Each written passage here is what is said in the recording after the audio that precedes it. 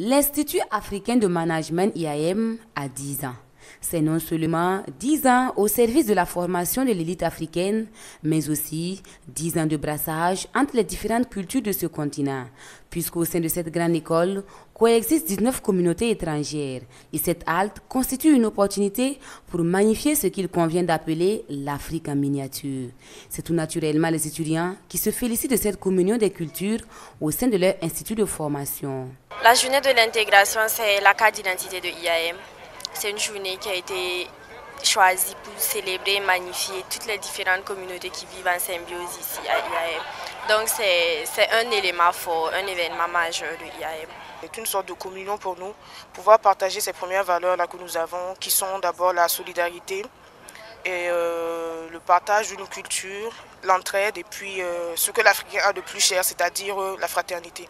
À l'image de son institut, le président du conseil d'administration de l'IAM invite l'Afrique entière à aller à l'école de l'intégration. Nous avons ici 19 communautés qui a été rappelées ici lors de la cérémonie.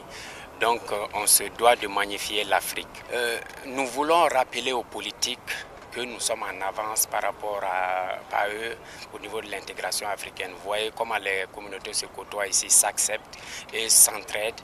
Donc si euh, ça pouvait déteindre sur le reste des populations, ça sera un plus pour l'Afrique. Cette journée est marquée par la signature d'un protocole pour la mise en place d'un fonds d'appui au start-up avec Coris Bank International, une structure dont le président du conseil d'administration est le parrain de cette journée. Nous sommes là pour parrainer ce dixième anniversaire et c'est vraiment avec plaisir que euh, nous le faisons pour euh, saluer l'esprit qui prédomine donc dans la gestion de cet institut et la qualité de l'enseignement, mais surtout euh, l'esprit d'intégration qui est véhiculé donc par cette journée d'intégration que nous vivons ce matin.